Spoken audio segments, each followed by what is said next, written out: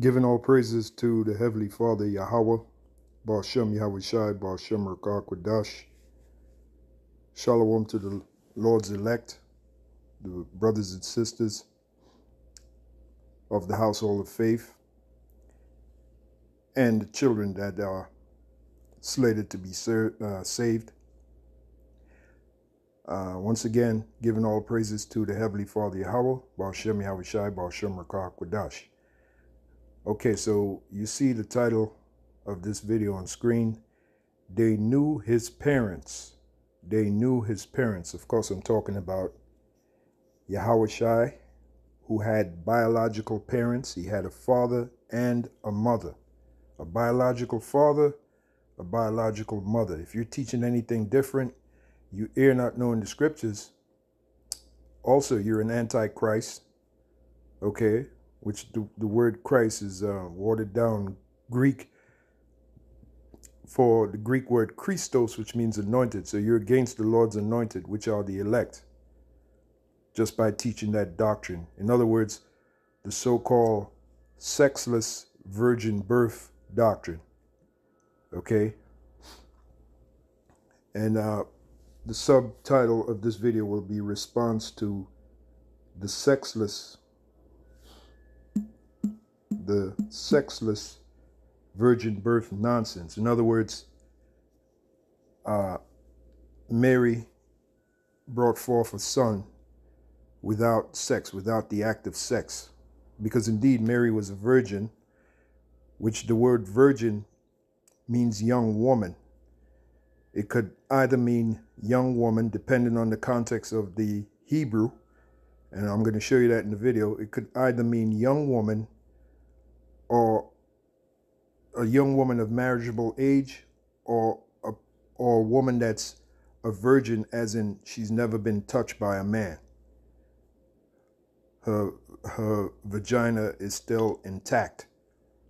And the the hebrew word for that is bathwala as you will see.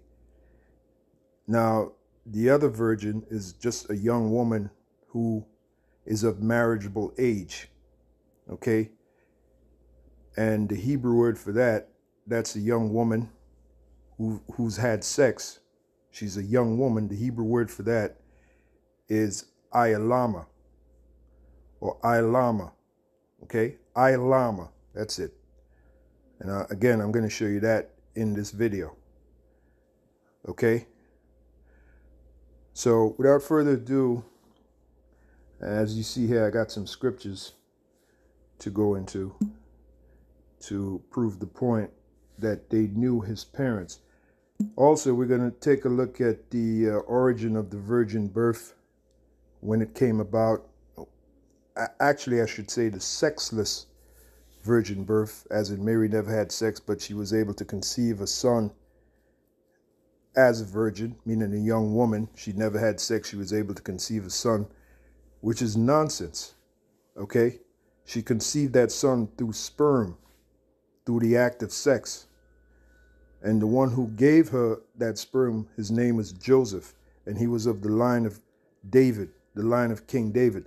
That's why one of the titles that the Lord was called was the Son of David, because he came from that line, what is known as the Davidic, the Davidic line. The Davidic line. He came from that family. Okay, he came from that stock. And the way he came through, from that stock, that family, is through the sperm. The sperm. The sperm that Joseph had went all the way back to the Davidic line. Indeed, Joseph, his biological father, was of the house of David. The scriptures is very clear on this. And you will discover, right, that the belief of the virgin birth, that didn't come until more than a hundred years after the death and resurrection of our Lord to put it to you this way, during the time of our Lord, when he was walking the earth, his his townspeople, all right, the people of Nazareth and the immediate areas, they knew full well Yahweh's family. They knew his father and they knew his mother. All right, that doctrine wasn't taught concerning the Lord, concerning Yahweh which the world ignorantly calls Jesus Christ. That doctrine was not taught. Okay, that sexless virgin birth nonsense. You know, people had more sense back then. Okay? They knew Yahweh's father, they knew his mother, they knew his family line, they knew his brothers, his biological brothers, because indeed he had biological brothers, all right, which the Bible gives us their names Jude, James, Simon, Joses. And they knew his sisters. However, the Bible doesn't give us the name of his sisters. Okay, he had biological brothers, he had biological sisters from the same two parents, Joseph and Mary. Okay? These are all facts. So, what inspired me to do this video was this video I was watching here. Earlier, I was um, cycling, you know, and doing what I do, getting that exercise in, which is very important. You know, two things that are very important in our lives, us brothers and you sisters out there diet and exercise. Diet and exercise. I don't know which one is, is more important. Both are equally important. Your diet, what you eat, and exercising. Like the song says, you know, uh, Gino Vannelli, people got to move. That's what exercising is about. Moving, getting out there. And I don't care if you're walking or cycling or both, which ideally you want to do both. You want to uh, cycle, uh, cycling, which I believe in cycling, and walking, those two. By doing that um, consistently, you will be in shape. You will be in shape. Okay, your cardio will be in shape. Your body will be in shape. So that's very important. Okay. So while I was out there cycling, and I was, it was myself and um, Elder Bishop Ibad. Um, I was listening to, while I'm cycling, I like to either I'm listening to videos or music in this case, I was listening to Elder Pastor's video, this video here. All right. Entitled, Whosoever have not from him shall be taken away even that he have. And he's, Elder Pastor is responding to a video put up by a FOPI and the head of FOPI, um, Quanaf, which he gave himself the title Elder Quanaf. You know, Everybody's an elder now. Okay. Anyway, um, in this video, you'll hear Quanaf say basically the the the uh, the doctrine of uh, the Hebrew Israelites. Basically, he he's he's thrown out a majority of the tenets of the doctrine of the Hebrew Israelites. Okay, he doesn't believe in the uh, fact that Joseph and Mary, Joseph was the biological father of Yahweh He doesn't believe that. He doesn't believe in the speckled bird. All right. He doesn't believe that. All right. He mentions a few things in this gospel that he doesn't believe. And like Elder Pastor said, the Heavenly Father had had given him the truth, and the Heavenly Father took it away from him. The scriptures speak about that. You know, the scripture speaks about enduring sound doctrine. He was one, uh, Elder Quanaf, that's what he calls himself. He's no elder, believe you me. All right, it speaks about those that cannot endure sound doctrine. All right, that's one of the signs of an individual that is not part of the elect, that was called but not chosen. One of the major signs is he cannot endure sound doctrine. The Bible speaks about enduring sound doctrine. Okay? And the word endure means to make tough. So you got to be tough to deal with this truth. And a lot of guys just can't cut it, man. They can't cut it, so they get cut. Okay? We have to endure sound doctrine. Speaking of endure, Matthew 24 and 13 but he that shall endure unto the end, the same shall be saved. So, one of the things we have to endure is sound doctrine. All right? Because it's easy for our minds, if we can't endure sound doctrine, it'll be easy for our minds to become corrupt. And that's what happened with uh, Qunaf. His mind became corrupt. And that's why all all the truth that he learned, he vomited it, he vomit, vomited it out. And you can clearly hear that in the video that Elder Pastor responded to. All right, all that honey, like the scripture speaks about, has thou found honey, eat, eat so much as is sufficient for thee. Let me show you that before I read the endure part. This scripture is likened unto honey.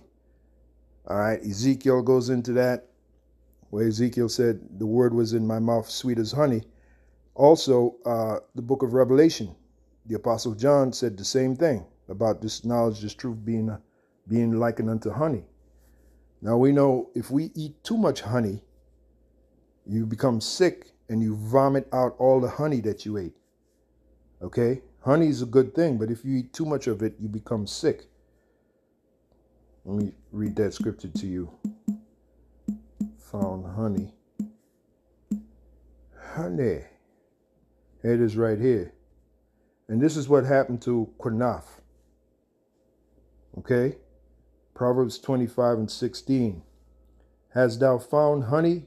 What is that? That's a metaphor for this knowledge, this truth, which is likened unto honey. I gave you two scriptures Ezekiel, I think it's around the second chapter, and uh, Revelation, I think it's around the 10th chapter. One in the Old Testament, one in the New Testament, which proves this knowledge, this truth, is a metaphor for honey.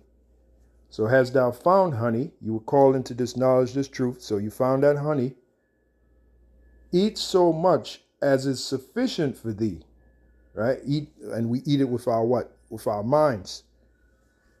Lest thou be filled therewith and vomit it. And that's exactly what happened with Qunaf. Okay, he started taking on parts of this knowledge, this truth, which he simply could not understand. Didn't have enough faith to understand. Didn't have enough uh, insight to grasp it.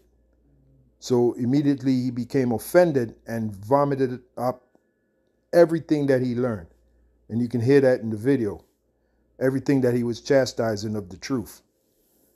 And now he speaks ill of it. So that's what happened to him. Has thou found honey, eat so much as is sufficient for thee, lest thou be filled therewith and vomit it. Let's read that in NLT. Do you like honey? Don't eat too much, or it will make you sick. There you go. And he now he's sick in the mind. Qunaf is just he's just gone. He's sick in the mind. Okay. So at this point, let's get to the video. And um, I'm going to stop it around the point where they talk about the the uh, virgin birth, right? And I'm going to bring some points out in relation to this lesson, which will be entitled they knew his parents, which that is one of the examples that destroys the virgin birth, as in the sexless virgin birth. Indeed, our Lord had a biological father. His townspeople knew it. That's one of the reasons why, I know I'm jumping a little ahead, but that's one of the reasons why they didn't want to accept him as being divine. All right, when he said he's the bread that came down from heaven, they had a problem. His, his, his, his townspeople had a problem with that. They said, Look, man, we know your father and mother. Who the, what makes you so special? What do you mean you came down from heaven? What are you talking about? That was their attitude towards the Lord. So if it was known that his father was this supernatural being, all right, eh, they would have no problem accepting when he said he came down from heaven. Would have had no problem with it. Why did the question is why did they have a problem with it? As you will see in the scripture when he made that statement. Why did they have a problem with it? Because they knew his father and mother. That's why. Okay? So I know I jumped up ahead, but I tend to do that. But anyway, let's get to the video. Shalom, giving all praise to Yahweh, Bashem Al Shai, Bashem Mukakwadash, Shalom to the 144,000 and rest of the elect out there, Shalom to you all. Anyway, I'm going to title this video, Any Israelite Group Teaching That Joseph never had sex with Mary is off. Yeah, big time. Capital O, capital F, capital F, exclamation point, exclamation point, exclamation point. This is madness.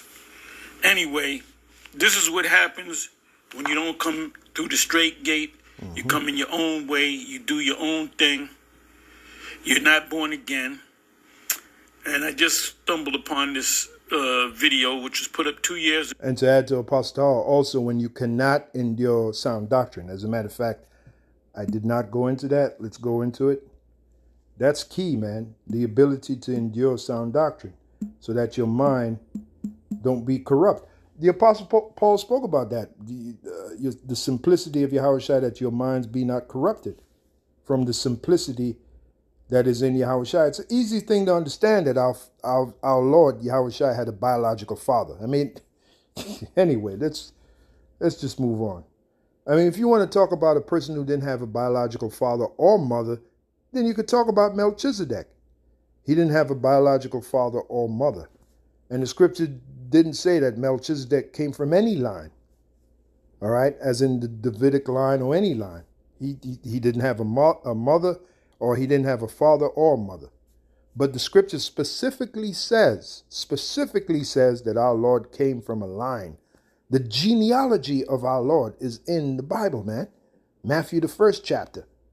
The genealogy of his father and the genealogy of his uh, of Mary's father. The genealogy of Mary's father is in Luke, I believe Luke, the third chapter. The genealogy of Joseph's father or fathers is in Matthew, the first chapter. Once again, the genealogy of Joseph's fathers, and as a matter of fact, when you look up that word genealogy, it literally means fathers, because we are reincarnated through our fathers. That's why when you read the Bible, say, who was the father of such and such, who was the father of such and such, who was the they're giving you their, their, their geneal, genealogy line, their line of genealogy. Okay, that was very important back then. Okay? Um, so the genealogy of Joseph's fathers is found in Mary, the first chapter. The genealogy of Mary's fathers is found in Luke, the third chapter. Okay? So let's get to endure. All right? Endure. And all what I said to you is sound doctrine. Okay, I read to you uh, Matthew 24, 13, but he that shall endure unto the end shall, the same shall be saved. One of the things we have to endure is, is being persecuted for this word's sake. We have to endure it. Look at all what Yahushua endured. And he made it all the way to the end. Another thing we have to endure is the ability to hold on to sound doctrine. Because we've seen many Israelites out there being corrupt. Their minds are becoming corrupt. So the truth they once knew, because they couldn't endure sound doctrine, which is the truth, their minds became corrupt. All right? There's Mark 4 and 17, and have no root in themselves.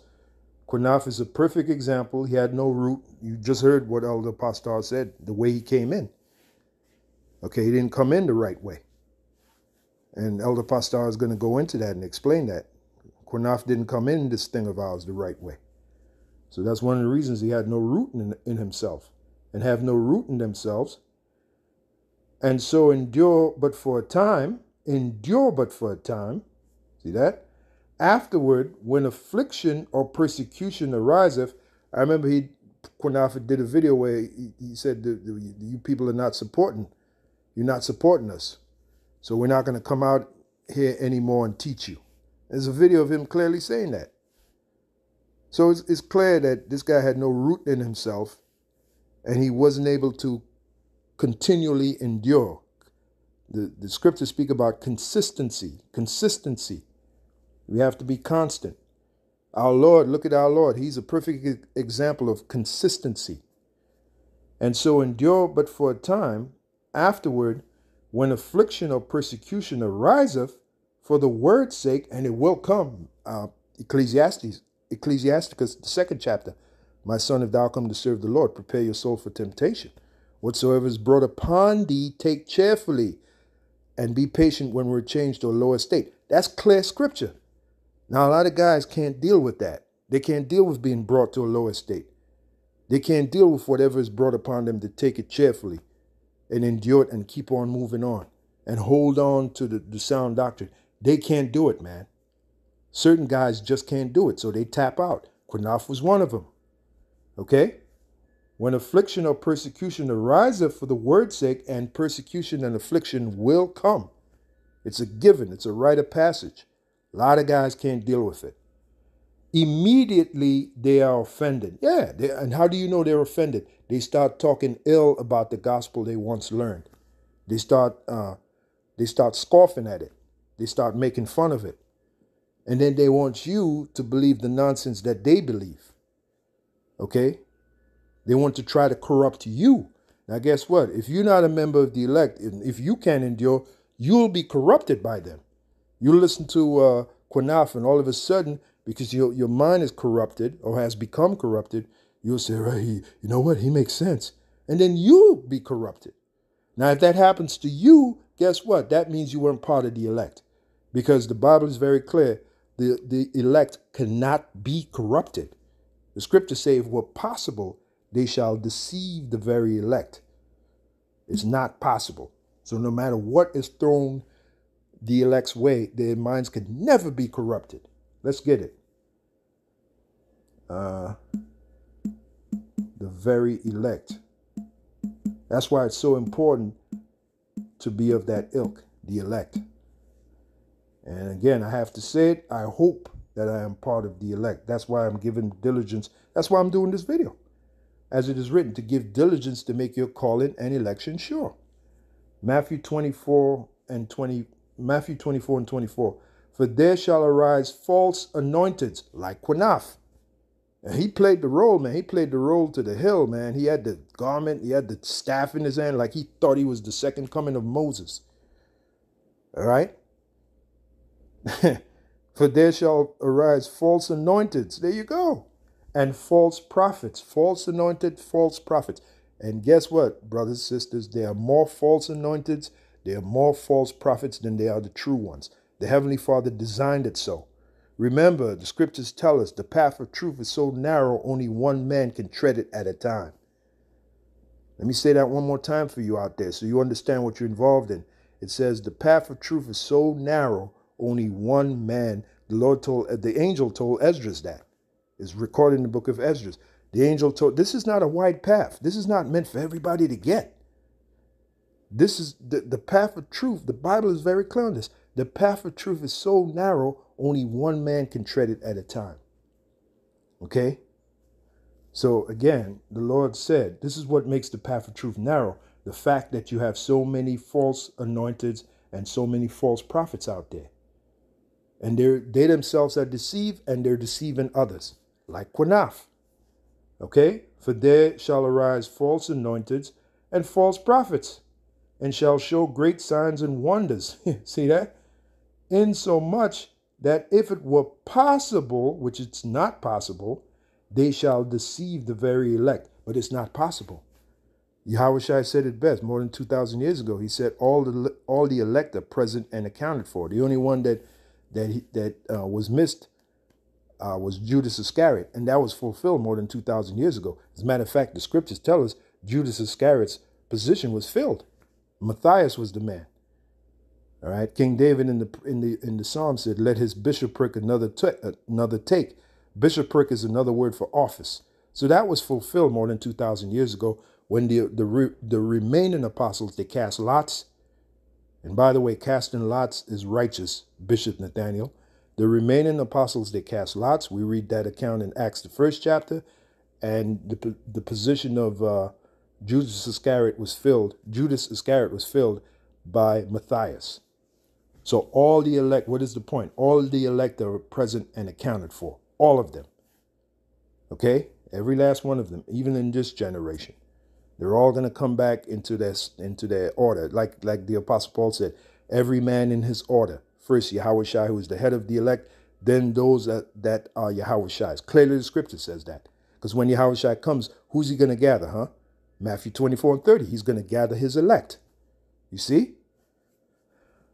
So again, Matthew 24 and 24 in the NLT. For false messiahs and false prophets will, will rise up, and we've seen that now, Quinaf is one of them, and perform great signs and wonders. so as to deceive, if possible, even the Most High's chosen ones. so, guess what, brothers? And you sisters too, you part of the elect too. The scripture says in First John, the elect lady. Guess what? If you're deceived by clowns like uh, Quanaf, that means you're not part of the Heavenly Father's chosen ones. You're not part of the elect. That's it's just that simple.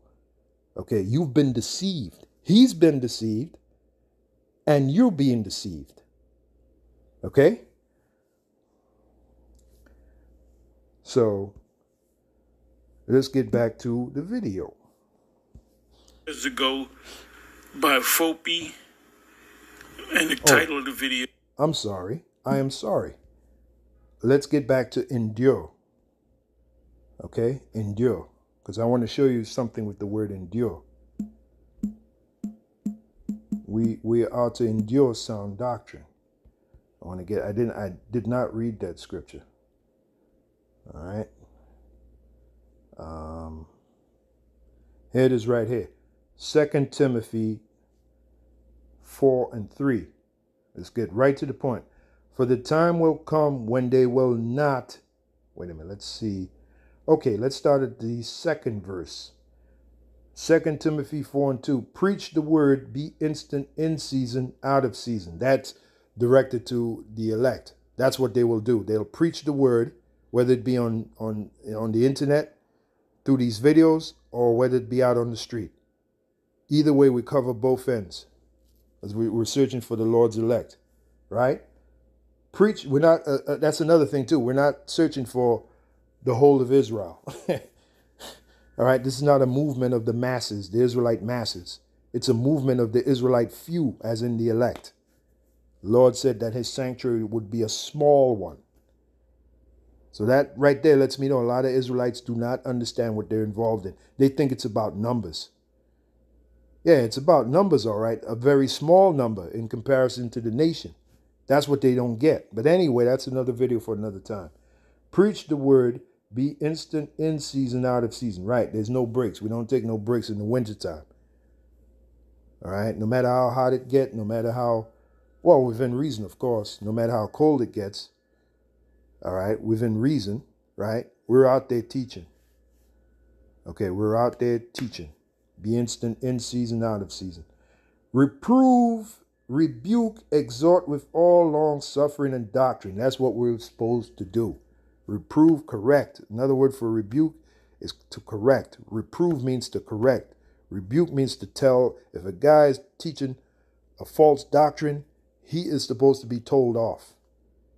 All right. He's supposed you're supposed to tell him off according to the scriptures. Look, man, you're going off. Okay. That's not written in the scriptures. All right. You going off. You're not you're not speaking the correct thing. That's our job. So it says, and it, this is not the most popular job. Okay. Reprove, rebuke, exhort with all long suffering and doctrine. Why are we supposed to do that? Here's why.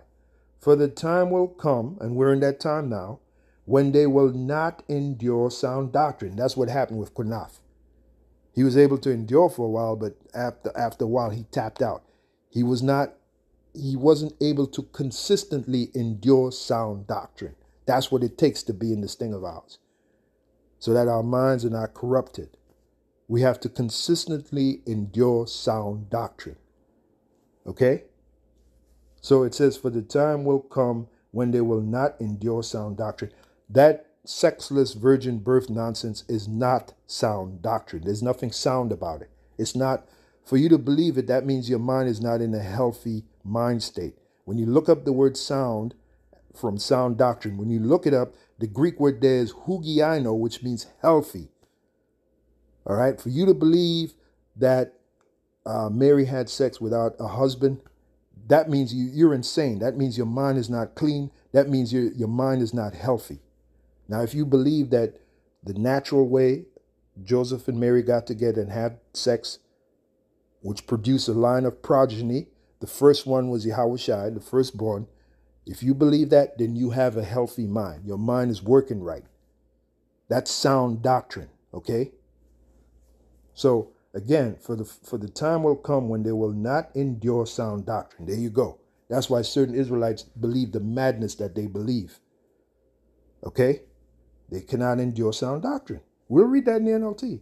For the time will come when they will not endure sound doctrine, but after their own lusts, whatever that may be, perverted lusts, whatever, whatever that may be, after their own lusts, shall they heap to themselves teachers having itching ears, right? Speaking things which they ought not to, like Quanaf. Only people Quanaf is going to convince are those that are reprobates just like him. And they were chosen to, to be deceived just like he's being deceived. They were chosen by the Heavenly Father to be deceived, just like Quanaf is being deceived. Why? Because they're not part of the elect. It's as simple as that. If you're not part of the elect, you're gonna be you're gonna be deceived. You're gonna believe in that uh, um, unsound doctrine, and then you're gonna fall out. It's inevitable. Okay. Let's read that in the NLT and go back to the video. Second Timothy four and three. For the for a time is coming when people will no longer listen to sound and wholesome teaching. Again, this sexless virgin birth nonsense is not sound and whole, wholesome teaching. It's not. Okay, and that's one of the reasons why many people are turning away from the so called Roman Catholic Church. All right, that doctrine primarily came out of the Roman Catholic Church, the sexless virgin birth nonsense. And even when you put it up against the history and when you put it up against the Hebrew, it does not add up. All right, as I'm going to show you in this video. During the time of our Lord, when he walked the earth, the townspeople of our Lord, primarily in Nazareth where he lived, they didn't believe that. they did not believe in that sexless virgin birth crap, man. Okay? They didn't believe in that nonsense concerning our Lord. They knew his father, they knew his mother. And that's one of the reasons they didn't want to accept him. All right? I mean, it's so easy to understand. Anyway, 2 Timothy 4 and 3. For a time is coming when they when people will no longer listen to sound and wholesome teaching. There you go, like Quanaf and the people that follow him.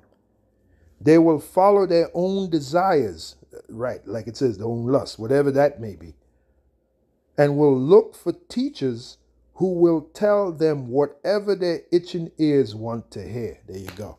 In other words, not will tell them they won't tell them the truth. They'll tell them lies. Okay? That sexless virgin birth nonsense is a lie. Okay? Let's keep reading. They will reject the truth and chase after myths. That sexless virgin birth nonsense is a myth. It's a lie. It's a myth. And it can easily be disproven. Okay?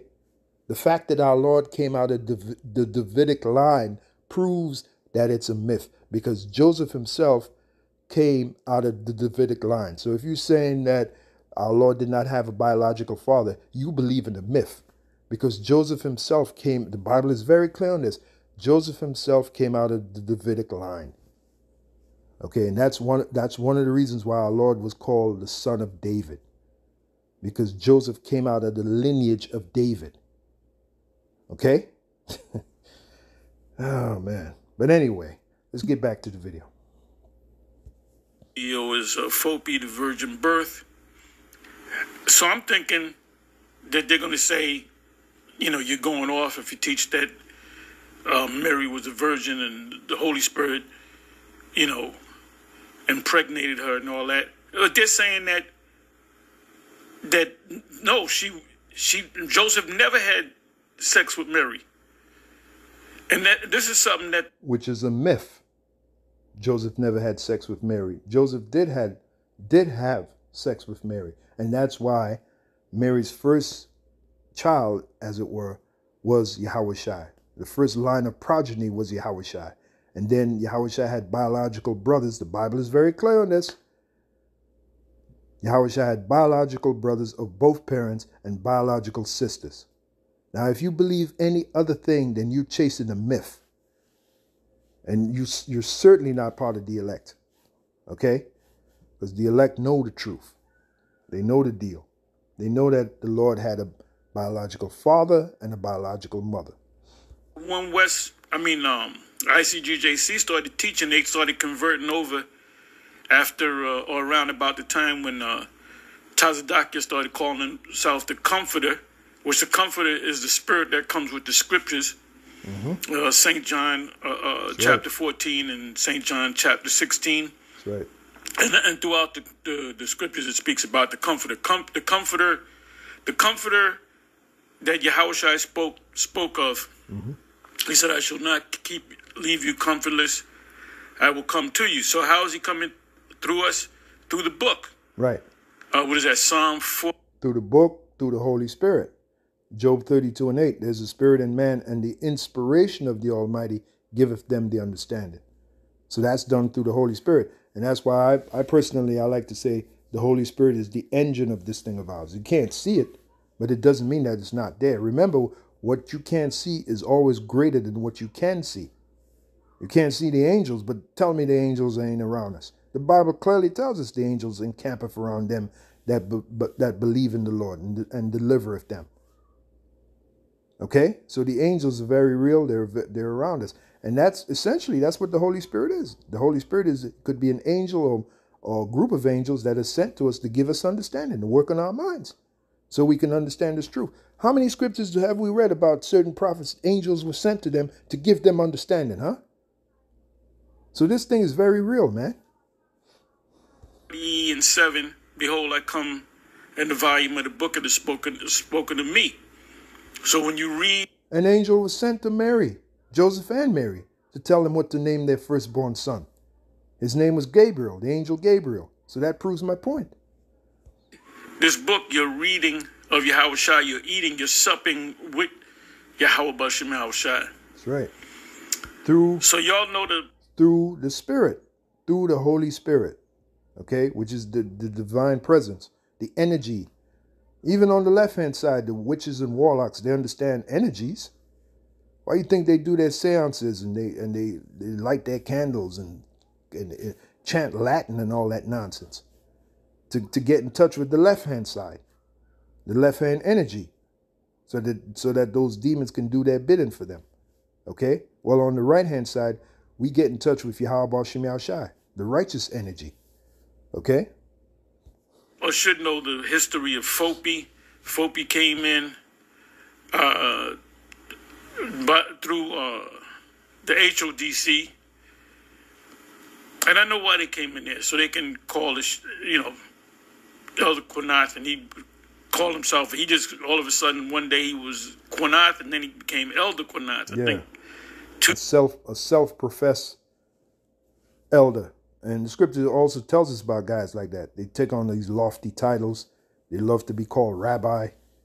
You know, that's another sign of your, your wicked Pharisees, Sadducees, and scribes. Okay? Love to be called rabbi, which which interpreted means master, master. Years in. Well, you might say, well, what about you? You beginning with apostle? What about you? You guys call yourself apostles? Yeah, well, Elder Pastor used the term apostle. At first, it was like a joke because we were make we were making uh, taking a stab at Bishop Nathaniel, but then when you go into the word apostle, right? Apostle just means sent away. So indeed, we are apostles. The word is from the Greek apostolos, which means sent away. We've been sent away through the Holy Spirit to teach this gospel. That's our job. So we're not, we're not um, we're not going off when when we uh, when we say we're apostles. We've been sent away. Also, we are elders.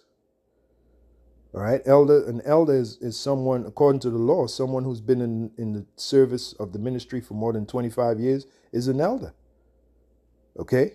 He can, and he can even retire if he wants to. But however, in this thing of ours, there's no room for retiring. We, we, we cannot leave our post. We, we talked about that yesterday at the camp uh, on the street, the street ministry. Saturday, we talked about that. We read scriptures on that. You know, Habakkuk talked about uh, holding on to his post. That's Habakkuk, the second chapter. Isaiah, the 21st chapter, Isaiah talked about holding on to his post, never leaving his post. See that? So there you go. I remember uh, uh, what uh, a year or two ago, uh, the head of Sicarii made a statement concerning El uh, Alazar. He said that El Pastor should retire. He's too old for the priesthood. Some nonsense like that. There ain't no retiring. We can't leave our post until the Lord comes. The Lord commanded us to watch until he comes. Blessed, as to quote that scripture, blessed is he when the Lord cometh shall find him doing, so doing. Doing what? Doing the work. So there is no room for no retirement. Okay? And um, he came he came up under HODC because he said, "Oh, I can I can do what I want to do. I can come and go as I please." That's right. He he probably thought about going to GMS. He said, "I ain't going to join GMS because GMS is going. I got to be out in the camp and I got to do this and there's too Yep. many too many, you know, orders I got to take. I I, want- I want to do it my way." So basically, Quinaf didn't come in the straight gate. Does it say in Matthew 7? That's what Elder Pastor is saying about Quinaf. He didn't come in the straight gate. So that's why he wasn't able to endure sound doctrine. Okay? Matthew 7 and 13.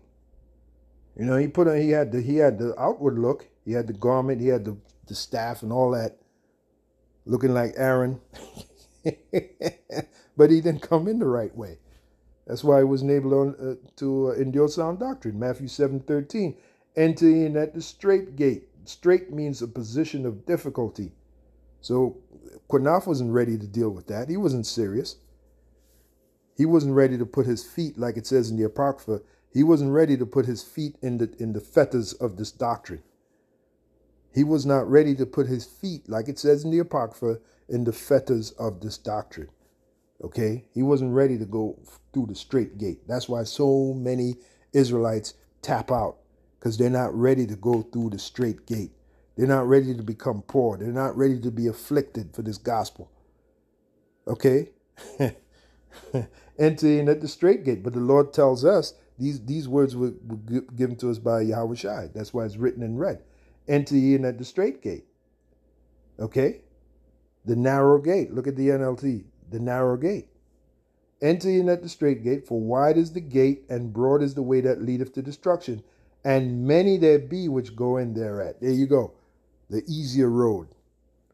The the, the, the, the soft road. That's what that's what the road that many of these Israelites take. They don't take the difficult road in this ministry. No, they take the soft road. And that's what you hear Elder Pastor saying about Quanaf. He took the soft road. That's why he didn't want to deal with GMS. GMS, we take great millstone. We're like our name, stone. The Bible says that we are stones in this thing of ours. We are lively stones. A stone is rough, man. You take a good sized stone and you pelt it to someone, they're going to feel it, man. Okay? They're going to feel it. Guys like Quanaf and those, those are those are mud, little hard packed mud that falls apart as soon as you grab it. No, we we're stones. You can take a nice, good sized stone, right? That's people in the islands are famous for doing that. They'll take a stone and throw it at you, man, like like like they pointing a gun at you, and try to take your eye out. I know, okay. I came up in, uh, St. Lucia around that time, uh, the, the mid '70s. St. Lucians were famous for that, stoning people, and not just St. Lucia, mostly all the islands. They're they're very well known for stoning people. Okay, so don't tell me about stones. The Bible say we're lively stones, great millstone. Okay, so a stone is hard, and that's how you have to be in this knowledge is truth. You have to be hard in the mind. You have to, you have to be hard in the mind. You have to endure sound doctrine. The word endure means to be hard, durable. That's where you get the word durable from. Endure comes from durable, from the Latin, which means to make hard. Okay, let's keep moving. give the ISUPK pretty much the same reason because ISUPK put you in a certain this, this is your whole post you did when we tell you to read you can read when we tell you to, you can speak you can speak so you know he went with the HODC which is a relatively weak camp because the, the, He took the soft road. Excuse me. That's why he wasn't able to endure sound doctrine. He was never hard to begin with. He didn't take the straight gate. Okay? Talking about Quanaf. you could do what you want. And then you had Barack and and uh, Elder Barack and Elder Ben go down there and actually speak and back this guy up. And then this guy stabbed them guys in the back. He did his own thing. And then he did a disappearing act. This man is not a man of the Lord. Nope. He's an Israelite. He'll be in Yep. the kingdom Yep. in the in the future, but he's not a prophet. He's not. And I'm not just He's not one of the Israel of God. Galatians 6 and 17, either 17 or 16 verse. The Apostle Paul talked about a certain group among the Israelites called the Israel of God, which is another title for the elect. Like Elder Pastor said about Kunaf, he's an Israelite and he's going to be destroyed and he's going to come back in the kingdom through, through the elect that make it. All right and that's when he uh, that's when Ezekiel comes into play. Ezekiel the 38th chapter going into 39th chapter. There you shall loathe yourselves for your for your doings that which were not good. So he's going to remember how he once was called in the truth, right? He was called into the truth, but he couldn't endure, and he's going to be ashamed of himself in the kingdom. talking about Kunaf, that's his, that's his future. But as his, as as him as it stands right now, him being a part of the elect, and uh, the answer is no. He's certainly not a part of the elect. That's why he's vomited everything that he's learned. And you can clearly hear it in this video. Anyway, let's move on. I'm not. I didn't say let me get up and let me get on Elder Quinath and Fopi. I didn't. I didn't that's get right. up. Say I didn't even know I was gonna come across this video. But I'm right. going. You know how you go through different videos. Well, the Holy Spirit jumped on El Pastor to say what he's saying. We speak, the Lord told Moses, it's not you that speak, it is I that speak within you, through you. You don't want the Heavenly Father himself to come down and speak to you. you, you we'd be all be dead. That's proven in the book of Exodus. Okay, when the Most High speaks, very few people are alive. the Most High speaks through us, man. Okay, Yahweh Shem Shai speaks through us. When Yahweh Shai comes, he ain't gonna be speaking. Bible is very clear on how Yahweh is returning. He- He's Isaiah 66, 15, Isaiah the 47th chapter. Yahweh is coming to kick ass, man. The slain of the Lord shall be many. So the point I'm making is the ones who speak for the Heavenly Father and His only begotten Son is us. Okay? So I came. I saw the word the virgin birth, and I'm like I said. I said I know they're gonna be cursing out guys that teach that Roman Catholic doctrine. That I just knew. I just knew he's gonna say Joseph had sex with, with Mary. So I'm listening just to confirm it, Right, and I hear this madness. right. So anyway, and see, you should take a lesson from uh, the so-called God sent comforter. That's right. You see the boat, the Roman Catholic crapola that he was teaching. Right, the so-called God sent comforter, Tazadak Tazadakba, or. I think that's that's how you said his name, if I remember correctly. All right, he was teaching that sexless virgin birth nonsense. Where is he now? Like like the scripture have said, whose mouths must be stopped.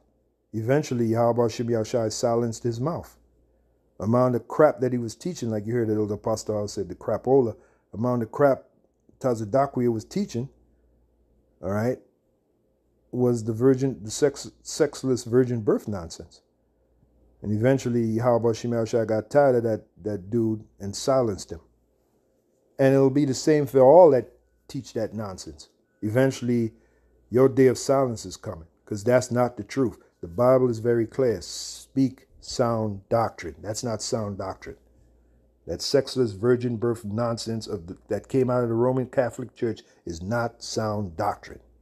Where's this? Where's he now? Where's this nigga now? Exactly. But he ain't a nigga no more. He's a he's a proper Israelite in his right mind.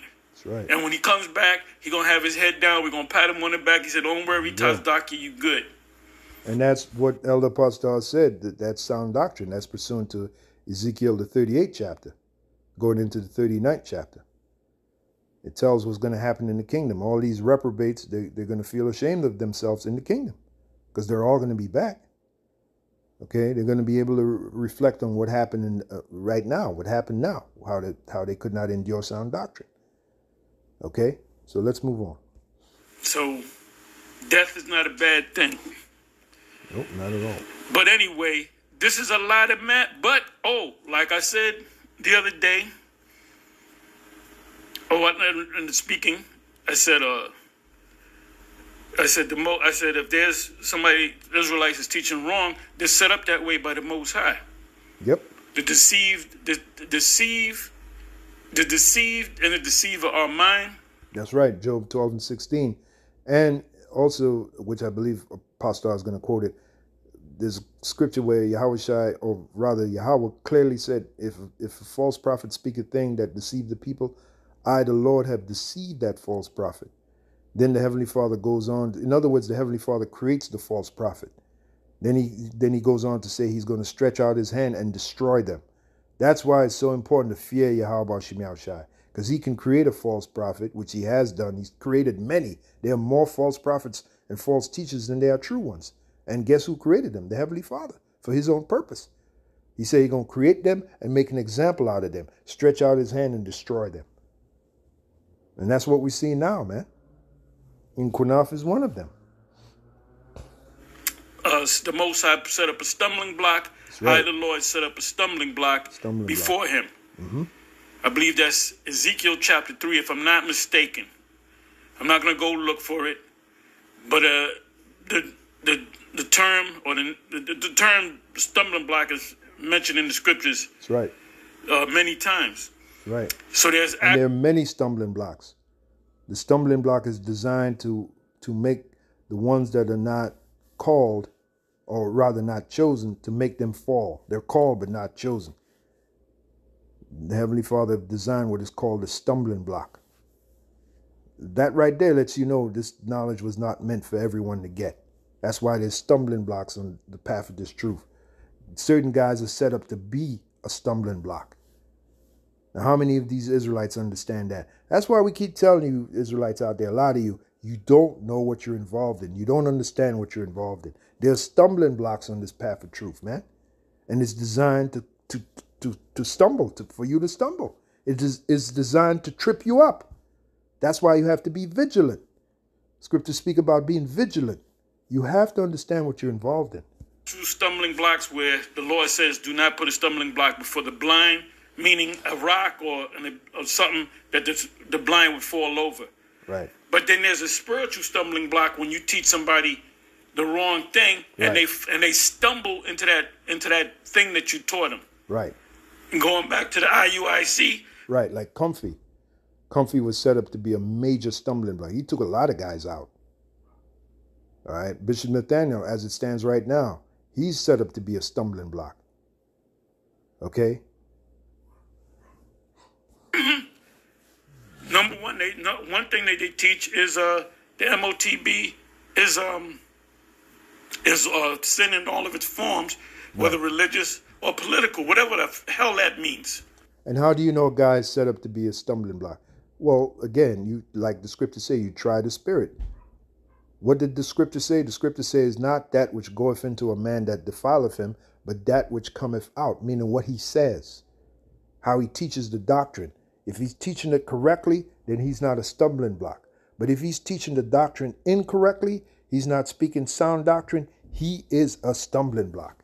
And he's designed, as it is written, the simple believeth every word. And if you're simple, you're going to believe his nonsense and you're going to fall out right along with him. You've just been taken out by the stumbling block, which the Heavenly Father Himself set up. His name is Yahweh.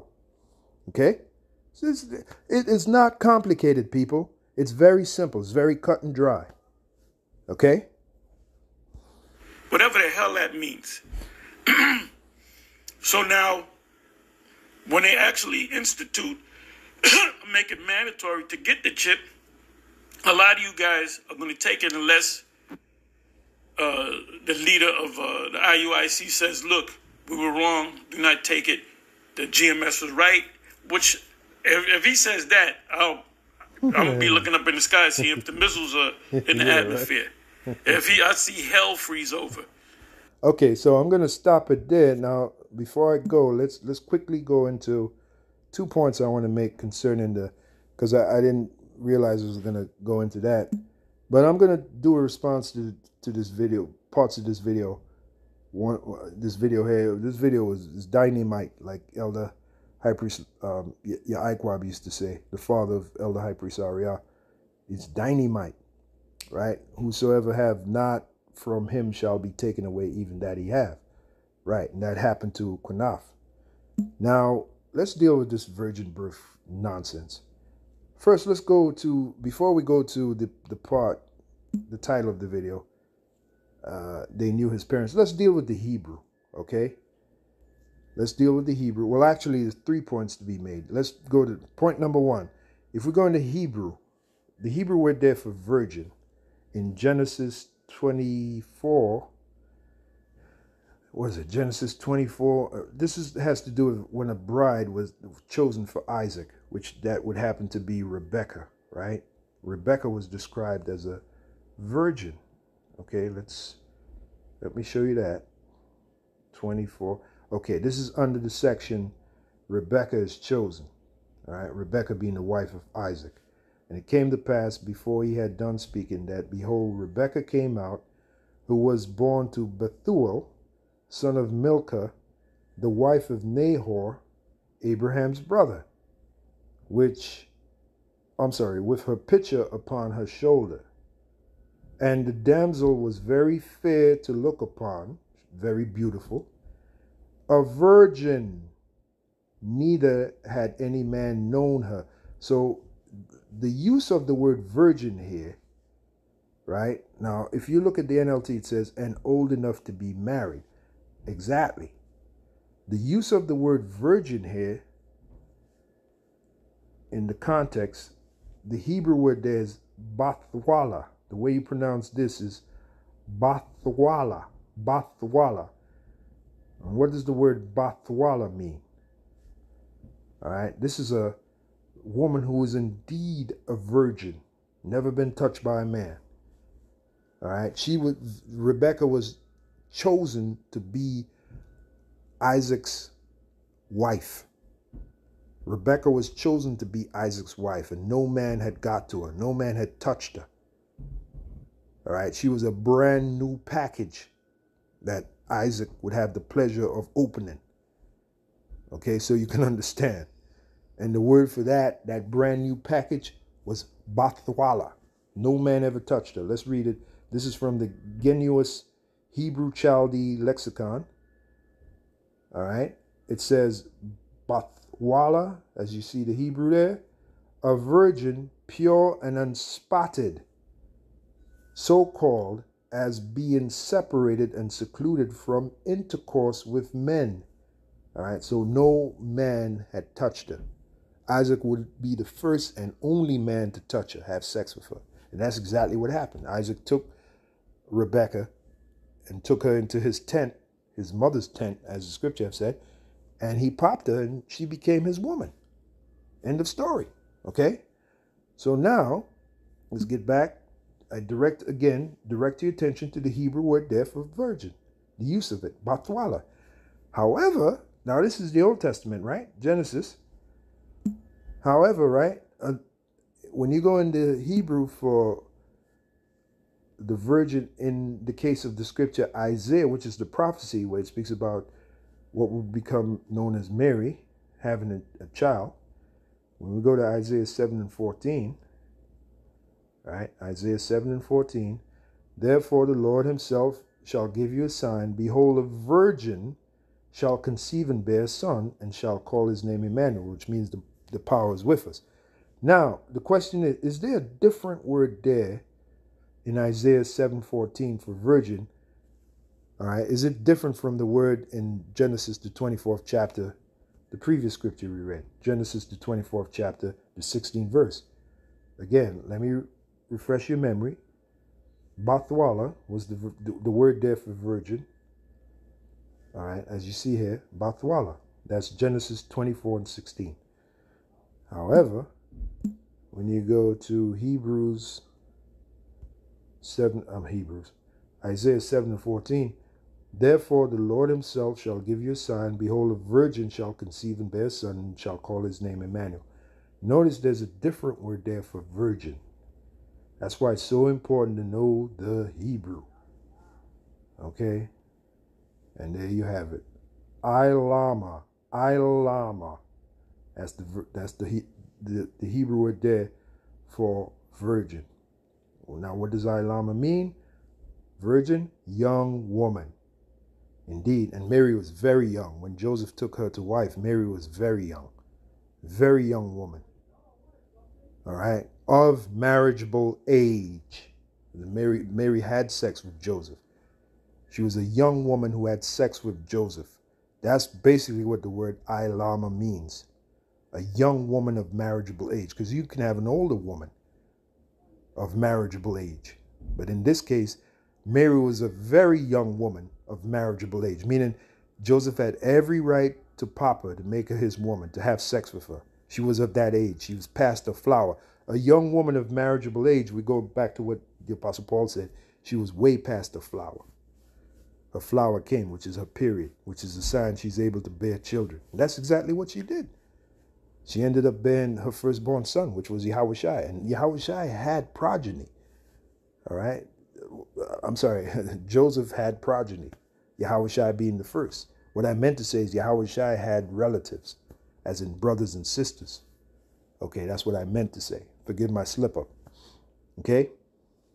Then this this is so easy to understand. All what I'm saying to you is sound doctrine.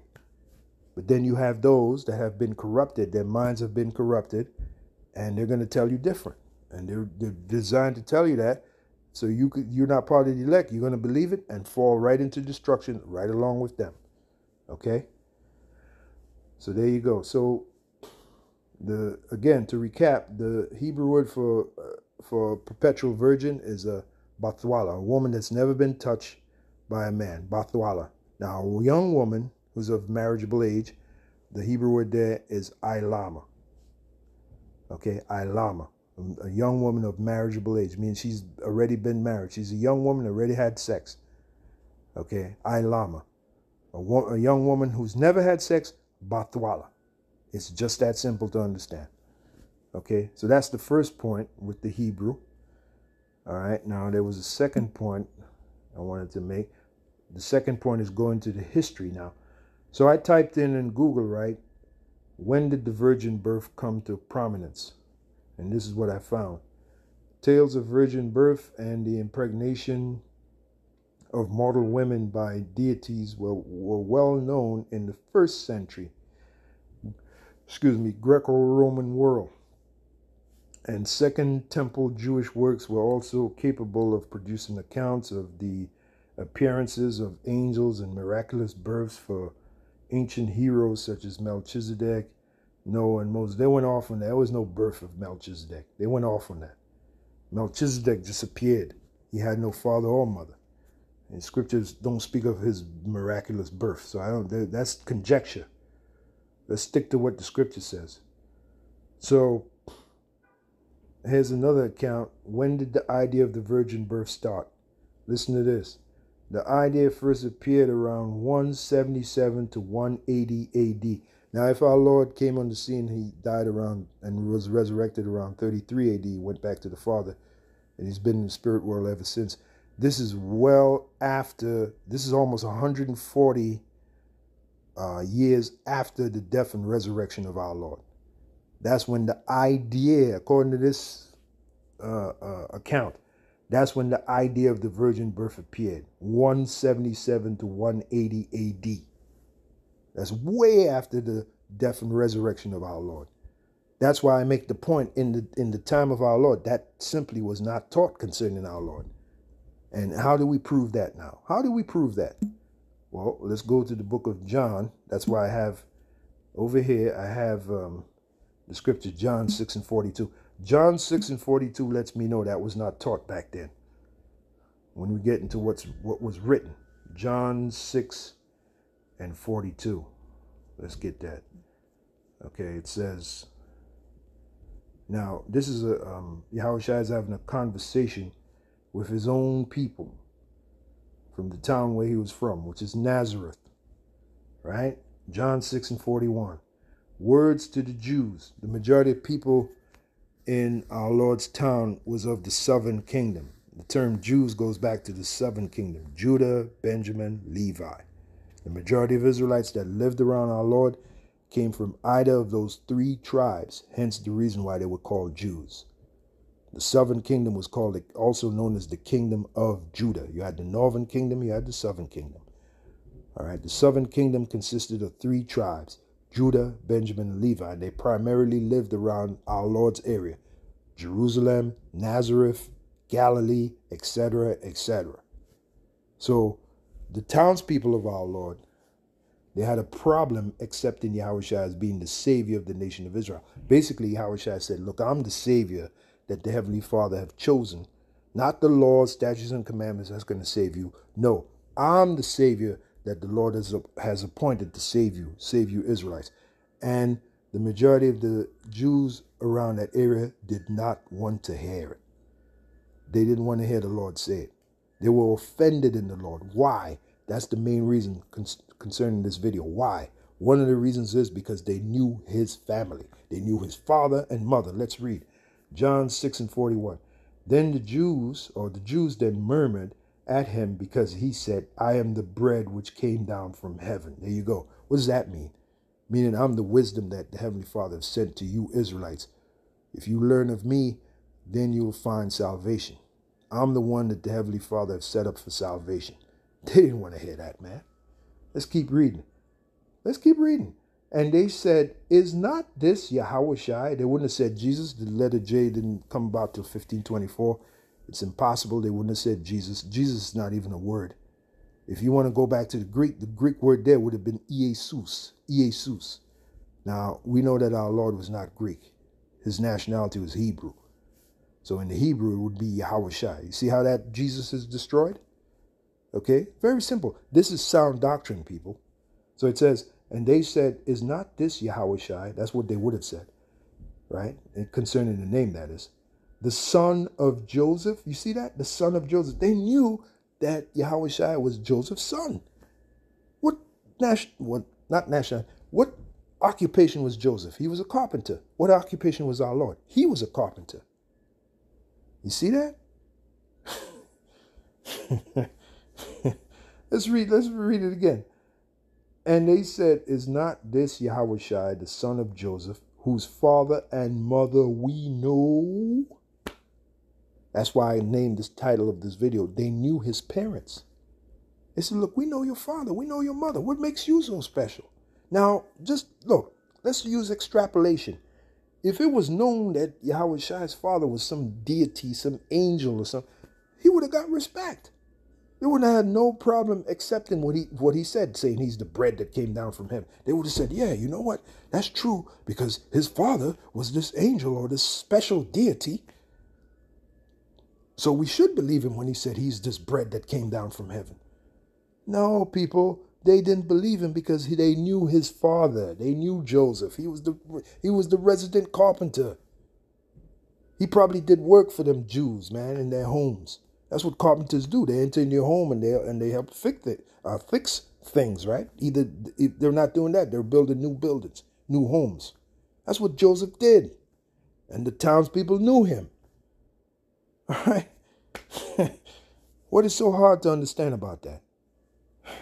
And they said, Is not this Yahushua, the son of Joseph, whose father and mother we know? And that's how I know back then, this is around 33 AD that I'm reading. Even, I'm sorry, I'm sorry, I'm sorry. Yeah, around 30 AD, 29 AD, 30 AD, 31 AD, 32 AD, somewhere around there.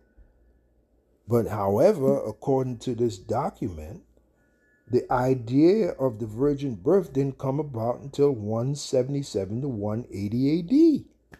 This is many years after the death and resurrection of our Lord. So it don't add up, people. The point is, uh, townspeople did not believe that Mary had, was the sexless virgin that had a child. They didn't believe that nonsense, nor was that taught. It was completely ridiculous. Okay? That understanding or lack thereof didn't come about until 177 180 AD. Okay? And that's how it's that's how I know it's impossible. That, that's how I know that virgin sexless virgin birth crap is impossible. Okay? John 6 and 42. And they said, Is not this Yahushua, the son of Joseph, whose father and mother we know?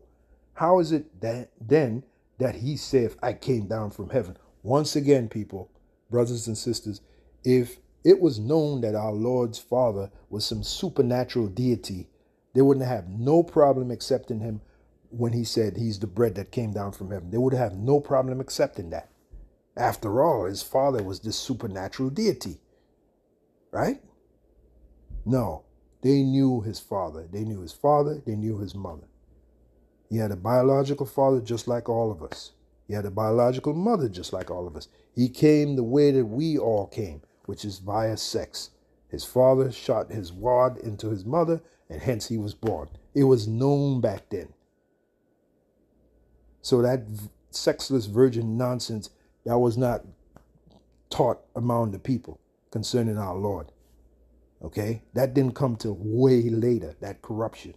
This kind of reminds you of what the Apostle Paul said about grievous wolves shall enter corrupting the flock. That's an example of, of, a, of a teaching of a grievous wolf.